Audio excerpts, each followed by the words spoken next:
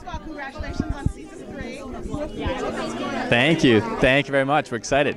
What was it like translating a beloved horror film to TV, even though it's basic? There's so certain parameters that you have to stick to. Yeah, for sure. I mean, look, it was it was a challenge, and it was also a privilege, you know, to take something of Roberts and Quentin's and try to uh, remake it and, and do it justice, you know. Uh, but TV, just by its nature, it gives us a lot more room to play with the characters that we, were already set up, and they were such strong characters that it was just fun for us to dive in and, and expand on all of them. So. Nice, nice. What's it like working on a TV show like this? I know you're working on a bunch of projects. A horror and a woman, and you're kick-ass. What's that like? I loved it. I was literally running around the house, jumping up and down when I got this part because I, I just I really wanted the opportunity to play sort of the femme fatale and have a little bit of action and have a little bit of you know sexy all mixed in in there. And to you know to work with this team of professionals was also really an honor for me. It was is a very enjoyable experience. I'm very thankful.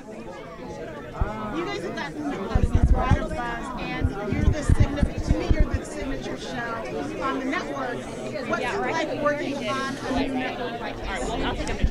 Um, you know, for us, it's actually been pretty fantastic. Uh, the fact that Robert's at the helm of all of it, and that you know specifically this is his property and uh, and was his movie, just gives us all kinds of, of freedom and opportunities to do things that we might have not been able to do otherwise. You know, he really gets to he's kind of the beginning, middle, and end of our approval process, uh, and we have a direct connection to him. He's incredibly accessible to us all the time, and uh, that makes it so that we can really make fun things and kind of you know stay outside the box.